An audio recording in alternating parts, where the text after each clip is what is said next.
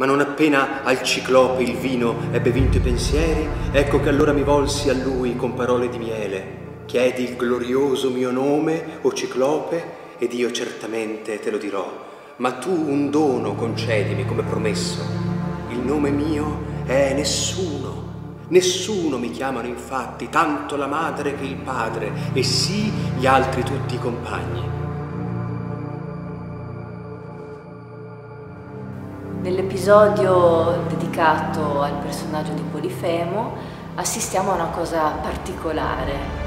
Per la prima volta il multiforme Odisseo, colui che continua a cambiare identità, eh, a recitare dei veri e propri personaggi nel corso del poema, quindi a fingere e ingannare tutti, per una volta si inganna ma perdendo tutte queste personalità, diventando nessuno, annullandosi completamente. E questa sarà la chiave per potersi salvare.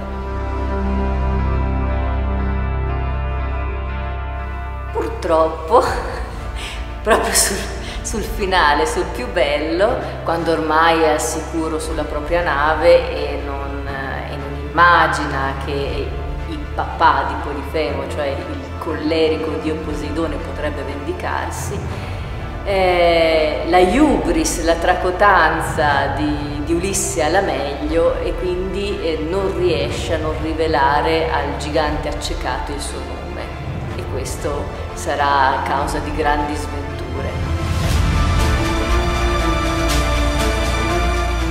E se qualcuno, o ciclope, in mezzo alle genti mortali, ti domandasse perché ignobile strazio dell'occhio, digli che te l'accecò Odisseo, eversore di rocche, figlio che nacque alla Erte e in Itaca a proprie dimore.